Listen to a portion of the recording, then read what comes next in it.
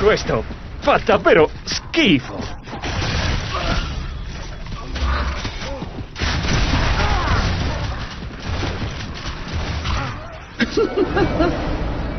In un certo senso posso quasi